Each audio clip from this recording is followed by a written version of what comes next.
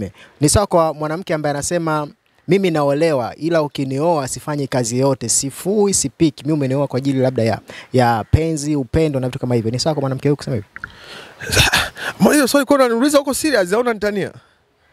Sasa unadhani wewe mwanamke kazi yake ni kwenda kufua nguo si kufanyaje? Hizo sio kazi za wanawake.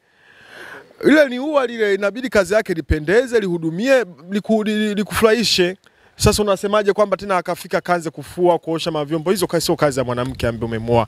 Mke wa ndoa kazi zake zinajulikana, eh, zinajulikana. Yule kazi yake ni mahaba. Mwanaume umetoka kazini umechoka, mwanamke inabidi akuhendo, aku, aku, akupunguzie mawazo, akuliwaze muda wote, inabidi wewe Bennett na mke wako ukiwa huko kazini. Si umeelewa?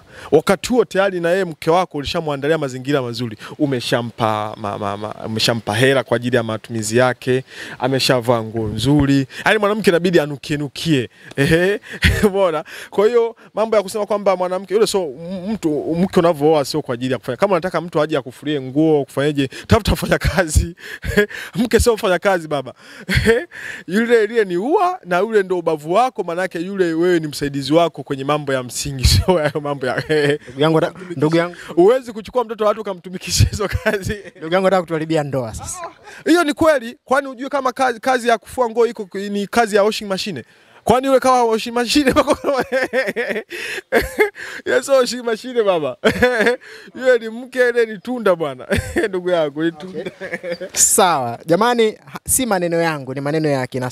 Mmemsikia huyu mtu ambaye anaongea hivi, ana hela, mkumbuke majirani.